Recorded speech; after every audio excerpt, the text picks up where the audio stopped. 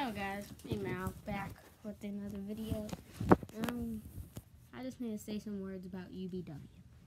So, Jake, Jake, what's your problem, man? What's your problem? Just stop. Just stop. You suck too. What's your problem, man? I never said you sucked. Are you just mad that you know you're not better than me? That you know you're not gonna beat me when I get my chance at that title? Is it you're mad that I'm not retiring? Jake, what's your problem, man?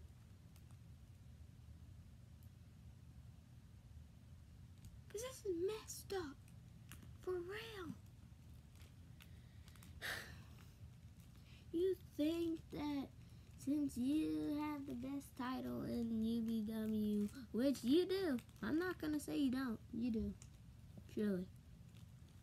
But do you think you're gonna hold it for a while? I'll tell you this right now. Once I get my title back, I will be your longest reigning UBW champion. Jake, you only held it for about 18 hours now. Apparently that's the longest. Six more hours you held it for a day. That's good for you, Jake, but when I come tomorrow, it's gonna be a problem. Wait, hold up. No. You've held it you held it for a day. Louis, you've held it for two days.